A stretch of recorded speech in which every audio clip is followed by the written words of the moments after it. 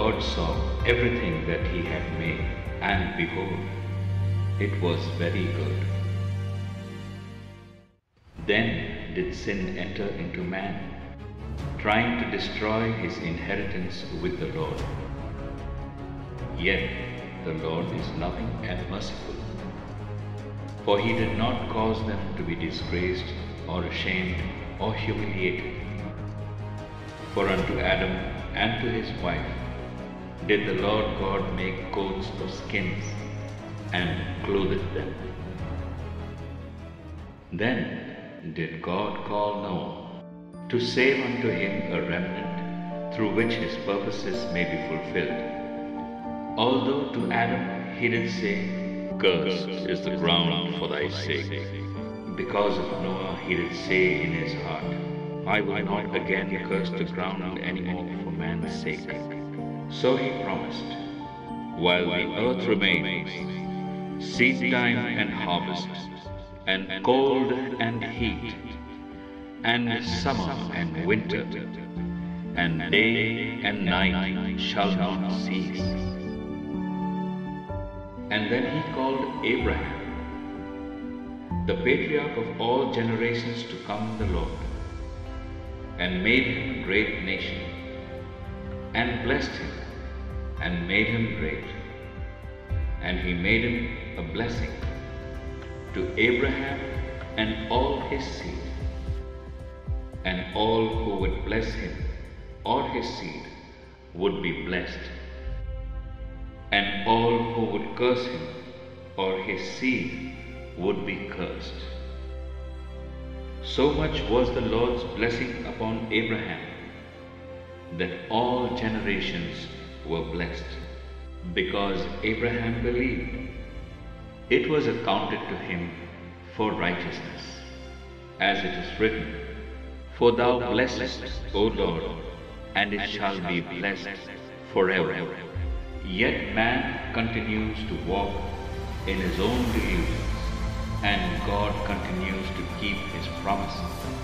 To Moses, he promised to raise up a prophet. Therefore, he sent us Jesus Christ, who shed his precious blood, so that we may be redeemed from the bondage of sin. Because by law all things are purged with blood, for without the shedding of blood there is no remission. Because he loves us so much, he does not want any of us to perish, but have eternal life through Jesus Christ.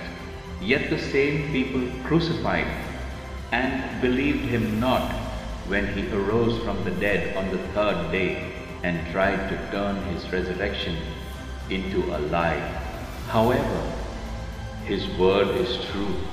His word is witness to all those who hear it, to all those that abide by it, life, to those who choose to deny it, death.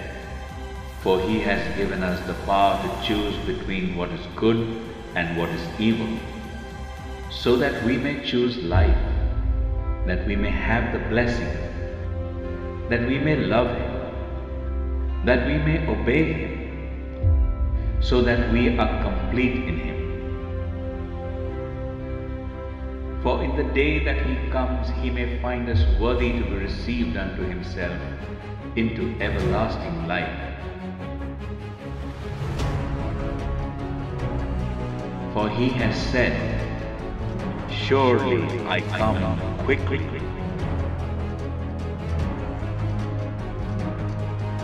Amen. Even so, come, Lord Jesus.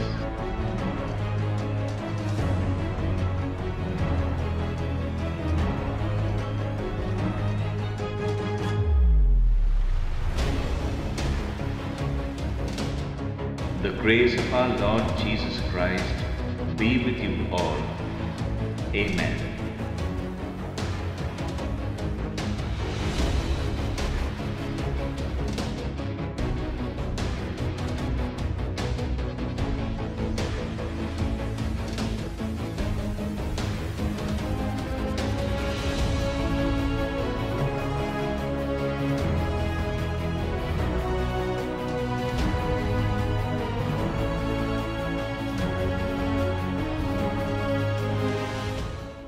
Jesus says, Behold, I stand at the door and knock.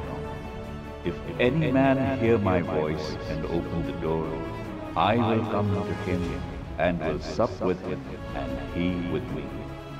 Welcome Jesus Christ into your life. For more information, email us at shepherdsmissioncenter at gmail.com. Visit our Facebook page and subscribe to our YouTube channel. Thank you. Thank you.